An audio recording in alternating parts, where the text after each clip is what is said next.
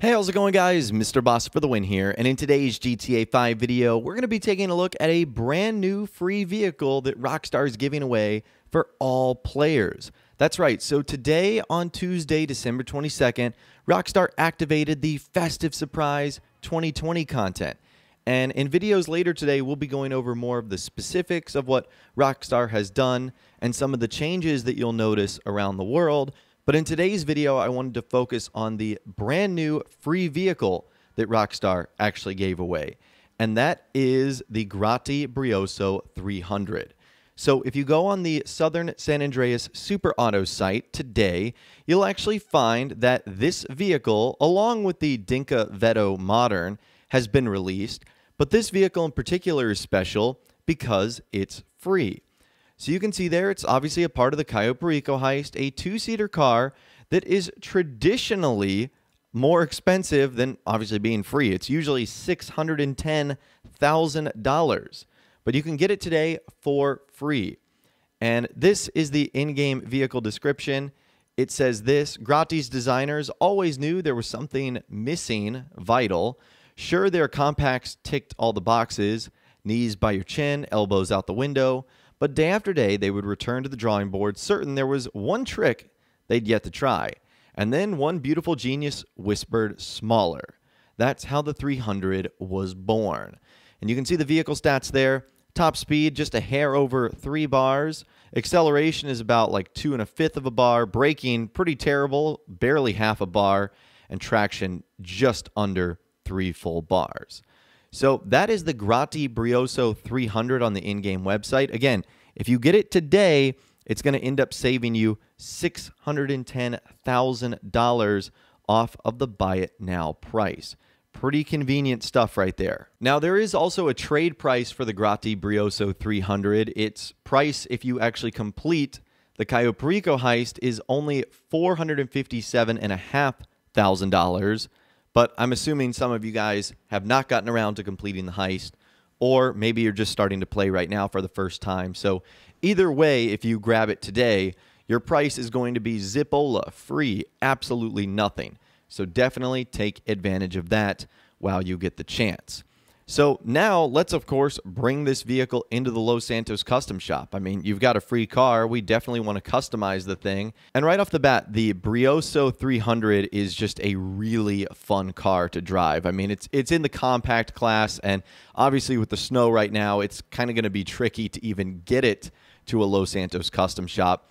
But this is so much fun that Rockstar have given away a handful of free vehicles so far a go kart, and now the Brioso 300. So, bravo, Rockstar. This is really a fun way to celebrate the holidays by having these free vehicles that you can get and saving yourself like a, like millions of dollars if you're cashing in on these free vehicle opportunities.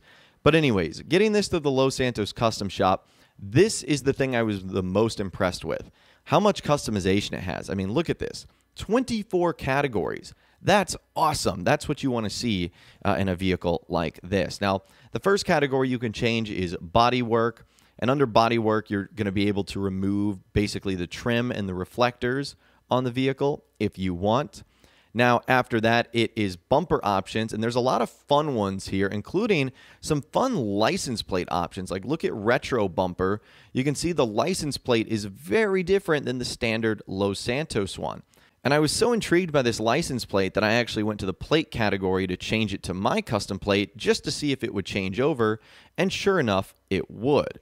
So now you have this fun license plate on the front that can also be customized. Now it says Boss FTW. So that's pretty cool, and you can do that with a couple of options on the rear bumper as well. Now, after that, it is exhaust options. There's a couple that you can choose from, some simple, some a little bit more extravagant, especially the blast pipes down at the bottom, which definitely gives you the most unique look, I would say. Now, after exhaust, it's fender options where you can simply choose plastic or carbon arches. Nothing all that fancy going on there. Now, your hood option, this is important. So your hood option is going to function as your spoiler in this case, which is going to give you a traction bonus. So that's something you need to keep in mind there that if you do want more traction, you're going to have to add either a hood rack, hood luggage, popped hood, or racing hood. Uh, so pick and choose wisely here because that is how you get a traction bonus. Now, after hood options, it is time for the liveries. And the liveries on this vehicle are awesome. Like, I'm a big fan of them. Spoiler alert here. So, the first two are pretty simple it's black and white stripes, which, again, very simple. You've got two stripes that go from the front of the car all the way to the back of the car and on the roof. It might depend on what customization options you have on the roof, whether or not you see it up there or not. But regardless, those are like the two probably most simple ones, but they still give a really clean look to the car. So if that's what you're going for, uh, you could just apply those. Now, Grotti Stripes is also a really clean one. At the bottom of the door sill, it's just going to put this black line with Grotti on there. Really clean. I like this one a lot. So you do have like three pretty simple livery options if that's ultimately what you're going for here. A cleaner, more, I guess, simplified look to the car. Now, the rest of the ones are so much fun. This next one, Aero Gasoline, uh, it puts the arrow logo on the front of the door and on the hood, as well as some fun other sponsorships and designs. You've got that checkerboard taxi pattern, Sumo, Whiz, Drone, uh, even the number 12 written on there as well. So that is Aero Gasoline. After that, it is Grotti Racing, which this one is super fun too. It puts that checkerboard pattern on the roof. You've got the big 22 on the side of the door, the Grotti logo and Grotti red uh, on the back and on the bottom. This is a really good one. I like this one too. After that, it is Fukaru tires, which sort of adds this like white and fuchsia gradient to a little bit of the hood and the side, and then wrapping all the way around the back of the car with more sponsorships on there like Fukaru and Amigas Gas, and then Drone and Blick. A couple other ones as well.